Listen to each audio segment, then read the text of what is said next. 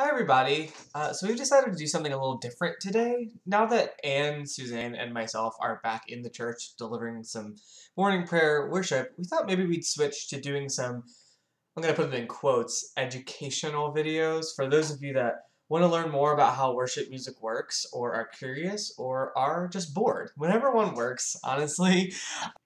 Uh, well, today I'm going to talk about some uh, breathing tips to help the average churchgoer sing a little better. These are not for necessarily trained musicians or you know you don't have to have any sort of knowledge just the ability to take a breath in and out is all the all the skill you need to improve your breathing. We hope that you are singing along to the hymns we are playing. We plan to distribute some music for those of you that don't have hymnals um, electronically for the next couple weeks um, for your to ease your singing along, here are some breathing tips to help you for your at-home church singing.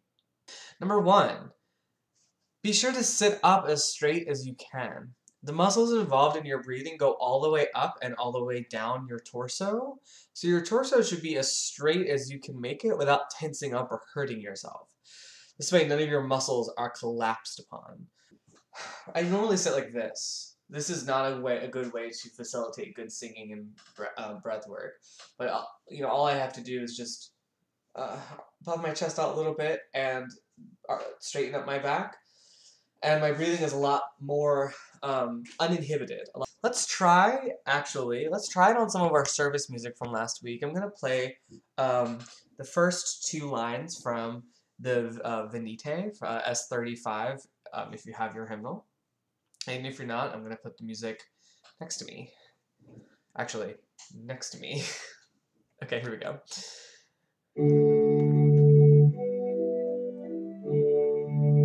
Here we go. Come, let us sing to the Lord. Let us shout for joy to the rock of our salvation. So hopefully when you uh, when you did that, you were sitting up straight. Um, truly the best way to open up your breathing is to stand, um, like we do in our in-person church services. But I'm not going to ask anyone to stand up during your church service. If you sit up straight, it's just fine. Um, if you are collapsed into a comfortable couch like this, um, you're probably not going to be able to sing much, get much air, um, because all of your, every part of your respiratory system is collapsed. So my second tip is expand your lungs downward, not upward. Let me explain what I mean by this. When a lot of people take a deep breath, their lungs expand upward, which forces their shoulders upward to make room.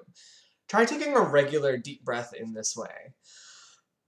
See how my shoulders raised? Um, notice how tense your shoulders and neck become.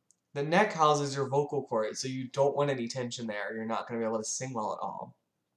When you expand your lungs downward, you're engaging your diaphragm, which is a small involuntarily muscle right here, to push your stomach and other organs out to make room. Um, so let me kind of demonstrate like this. Notice how my shoulders didn't move at all, but everything was contained on here. This is a little less natural feeling, I think, for most of us, because normally we don't really care about tension in our neck or tension in our shoulders. But if you want to sing properly, you can't have any tension here. Um, so it leads to a much more relaxed breath, a much more relaxed singing, which is crucial to singing without hurting yourself. When you're trying this, you might not be able to get the notes out immediately, um, or even get as big of a breath as an upward breath, but that's because you're not as practiced with the downward breath, breath most likely, so as you do it, it'll become um, becomes easier and you get stronger over time. So let's practice our uh, downward expanding breath um, with a little bit more of the Venite. I'm going to play the first uh, three lines, and um, we'll see how far you can get on just that one breath staying relaxed. Here we go.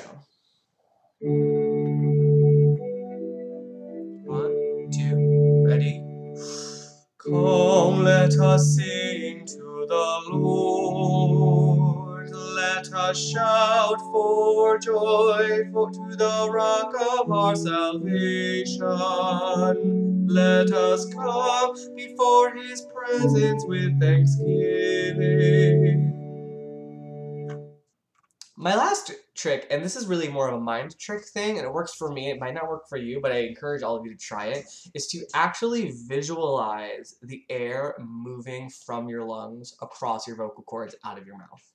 Um, it sounds kind of funny. I imagine it like um, in like old Saturday morning cartoons, whenever they wanted to represent wind, they had like white lines um, that would just move across the screen, and I, I literally imagine a white line coming out. Um, and moving. Um, when I do this, this uh, is subconsciously encourages my lungs to move more air and to have the air be more directional and fast. When your air that you breathe comes out quickly when you sing, that will relax your vocal cords a little bit more and truly like the, the more relaxed you can be, the better. Your vocal cords will have to work less hard to get volume because uh, you could also get volume just from the volume of air moving through your system. Well, that's it uh, for me today. I hope this was at all helpful. Um, feel free to check out Suzanne's video today for your regular weekly dose of sacred music. Stay safe, everybody.